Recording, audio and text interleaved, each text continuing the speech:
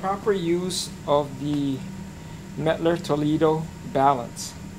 To begin using this balance, you have to first make sure that the scale is properly level. And the way you do that is you look at this bubble right in the bottom of the pan and you make sure that the bubble is centered. If it's not centered, then there are a couple of uh, legs here to adjust in the back. You turn these um, counterclockwise will raise the legs, clockwise will lower the legs. You adjust that until the bubble is directly centered.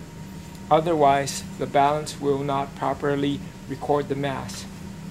Once that's set, to properly turn on the balance, you turn you depress the on-off switch, and when you do that, the balance will warm up. Generally, you want to turn on the balance about 30 minutes prior to using the balance that way the electronics have sufficient time to warm up. Um, here I'll show you some illustration as far as the scale is concerned. It tells you that the balance is on. Your this is a programmable balance and so you're home right now. It's uh, the starting point in which nothing is in the in the scale. This is the date. It's shown. And then right now, because there's nothing in here and it's been properly calibrated, it's got 0.000 grams. This measures to the tenth of a milligram or to the tenth of thousandth of a gram. Now, this dial right here tells you how much of the capacity of the scale you've used. And right now, since we have nothing, there's nothing to be displayed here. And this uh, scale down here tells you the resolution. If I press that, you can see that the resolution now is to the milligram or to the thousandths of a gram. But we want the highest precision possible. So I'm going to press that right there and get back to the tenth of a milligram. Now to open the, the, the um, display, you just brush your fingers through here and the balance will open. Okay, brush it again and it will close. Now, in this particular experiment, we're just going to weigh a, an aluminum slug. So the way I will do that is I will open up the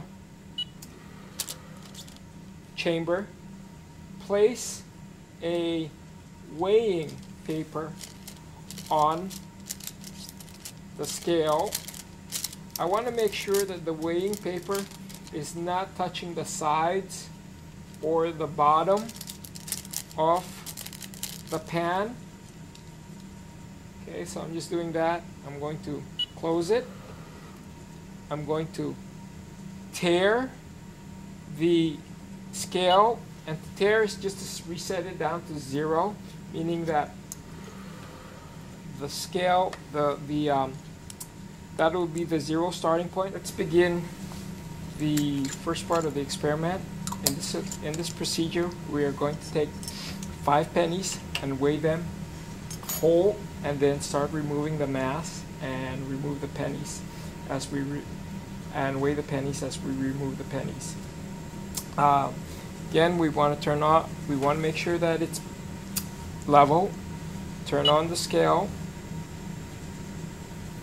Wait for the display to show. At this point, the scale should already be on uh, because the scale needs to be warmed up for at least 30 minutes.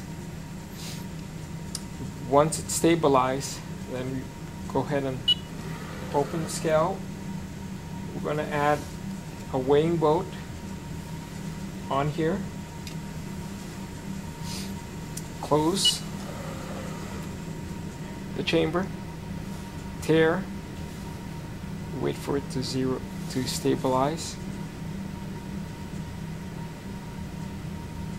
And here. Then we're going to take five pennies and place it on the wing boat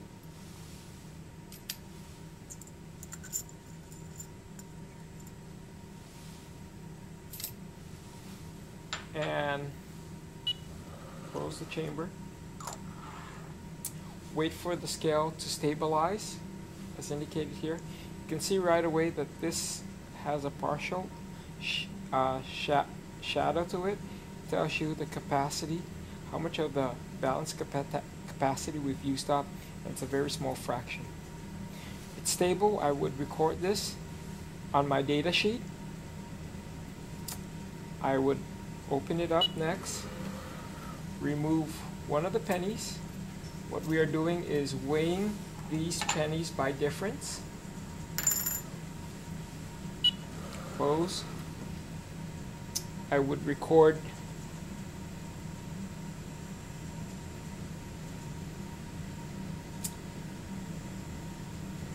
I would record this mass after it's stabilized and the difference between the initial mass and this final mass would be the weight of this particular penny. Next, I would open it up. I'd remove the second penny. Close it. And again, wait for it to stabilize.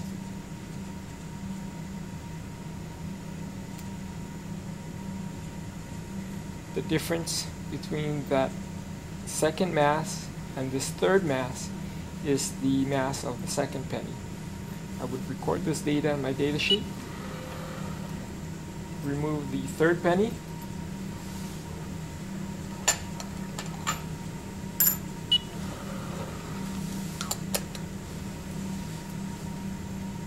wait for the scale to stabilize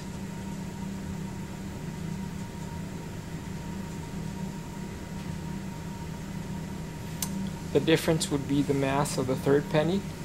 I would record this in my data sheet. I would remove the second penny.